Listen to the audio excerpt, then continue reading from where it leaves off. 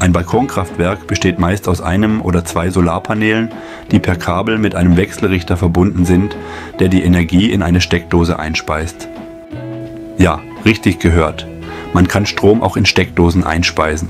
Die meisten Wohnungen sind stromversorgungstechnisch in drei Teile aufgeteilt. Man nennt die Teile Phasen und jede Phase geht durch den Stromzähler. Das Balkonkraftwerk ist an einer solchen Phase angeschlossen. Der eingespeiste Strom nimmt immer den kürzesten Weg.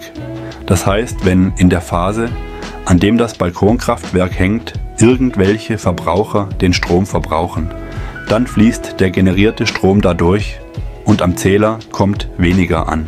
Hinter dem Zähler ist es egal, wohin der Strom fließt, weil die allermeisten Zähler die Ströme der einzelnen Phasen unterm Strich zusammenrechnen.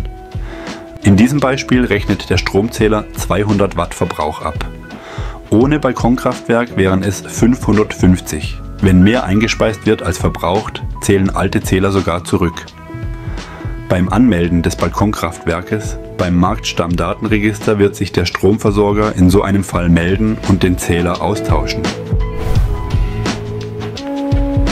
Wenn man einen Balkon hat, auf den im Sommer die meiste Zeit des Tages kein Schatten fällt, lohnt es sich schon mal, wenn man tagsüber nicht zu Hause ist und den Strom damit nicht selbst verbraucht, lohnt sich ein kleineres Balkonkraftwerk mit etwa 300 bis 400 Watt eher, weil der Anschaffungspreis meist niedriger ist.